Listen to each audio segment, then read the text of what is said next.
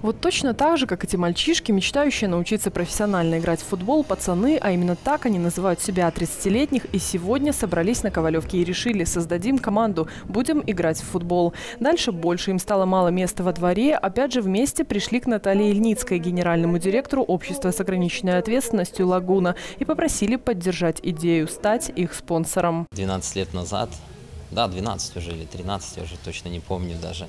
Молодыми парнями еще в школе учились. Наталья Емельяновне с Максимом Дьючком вместе пришли вдвоем. Решили тогда команду создать. Наталье Емельяновне предложили, она согласилась. Как бы это для нас было очень так, ну, приятно. Сразу первую форму купили, вот у нее до сих пор она висит там как память. Да, как память. То есть в синей форме играли, лагуна, все. То есть, ну, тогда первых два года мы еще молодые были, то есть ничего не выиграли. И потом потихонечку уже начали что-то завоевывать. И вот уже 12 лет она нас поддерживает. Поддерживает и сегодня, а потому чемпионов города, ставших обладателями Кубка Лиги по мини-футболу среди непрофессиональных команд сезона 2016-2017, чествует в своем не так давно открывшемся комплексе «Лагуна Янтарная». Победа значимая, важная и для игроков, и для Натальи Натальей Емельяновны. Тем более, что «Триумф» далеко не первые кубки тому подтверждение. Они стоят на самом видном месте. Мы, конечно, на уровне города в основном участвуем. Там небезызвестный «Аматор», турнир такой есть. Э, ну вот мы премьер-лигу один раз выиграли, вышли в элит-лигу. Элит-лига нам пока еще не далась, но это считается самый престижный турнир в городе. Вот. А премьер-лига вторая по престижности. Э, в этом году мы выиграли первую лигу, это уже городской мини-футбольный вот чемпионат. Да, ну главное, главное наше достижение мы в этом году выиграли Кубок лиги в этом же турнире. Там участвуют, то есть 4 лиги, то есть это порядка 64 команд, если мне память не изменяет, да, 64 команд. И мы как бы по пенальти корону обыграли вот. Ну и приятно, как в этом году, то есть у нас двойная победа получилась. Мы и чемпионат выиграли, и кубок. Уже в 2010 году они э, уже стали победителями и принесли мне первый кубок. Э, и так вот в 2012 второй, э, в 2014 третий, и вот сейчас четвертый. И вот так вот кубки растут они. И мы очень довольны, потому что ребята возмужали уже, то были школьники, сейчас сейчас они учатся, работают. Имеют своих Имеют детей, уже своих детей.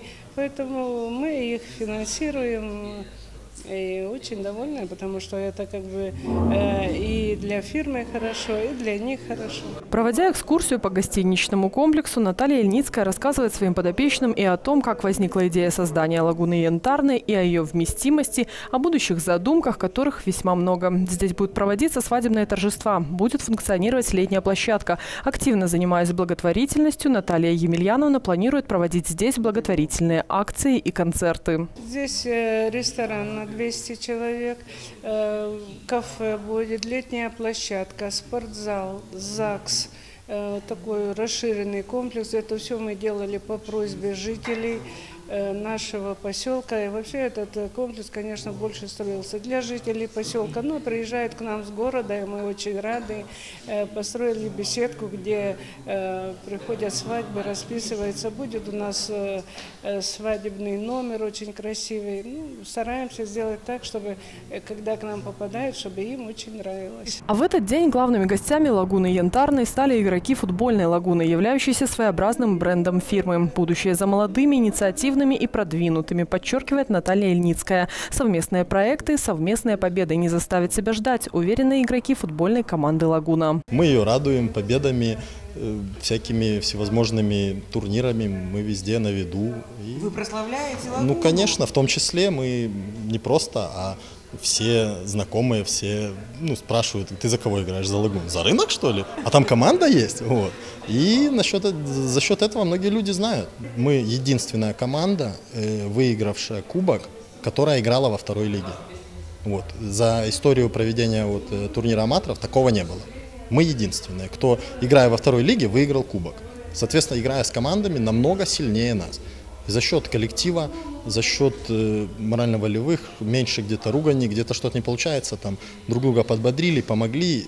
И за счет этого мы на коне. Хочется побольше побед, хорошие ребята, э, поэтому я думаю, что мы с ними вообще не будем никогда расторгать никаких договоров, наоборот, будем расширять, И есть э, задумка еще пляжный футбол, поэтому я думаю, что все у нас еще впереди, тем более у нас сейчас есть здание, где будет спортзал, где можно будет заниматься, больше э, уделять э, физическому развитию. Лариса Осмолович, Денис Величкевич, Антон Луговкин. Телекомпания Бук ТВ.